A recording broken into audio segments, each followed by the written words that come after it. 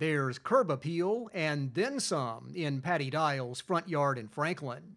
She has a muscadine vineyard to grow fruit for jams and hot pepper jellies.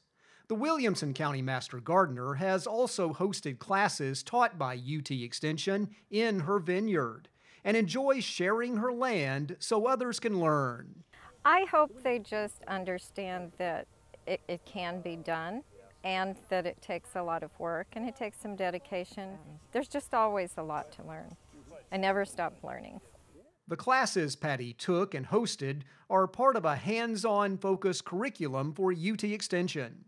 Based on the surge in the homestead and do it yourself movement, there's everything from mechanics to horticulture to food preservation. Anyone can look up a YouTube video on any topic but you really learn by getting your hands on what needs to be handled.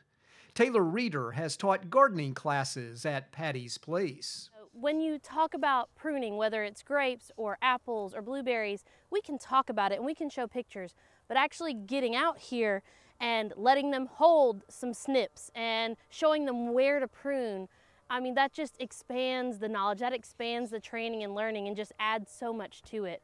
UT Extension in Williamson County started these classes 15 months ago, with 700 people now taking part. And when you sign up, you get a full year of instruction. Doug Burney teaches poultry care and egg production to 4-Hers and their parents, a topic that gets a lot of interest.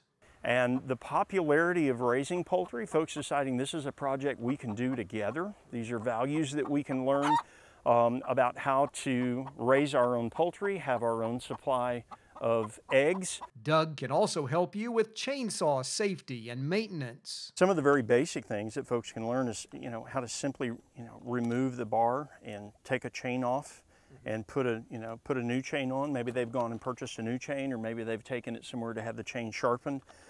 And with these classes, a chance to sharpen your skills. You've perhaps heard the modern saying, there's an app for that. With Extension, there just might be a class for that. A wide range of choices, learning in person, using your hands. This is Charles Denney reporting.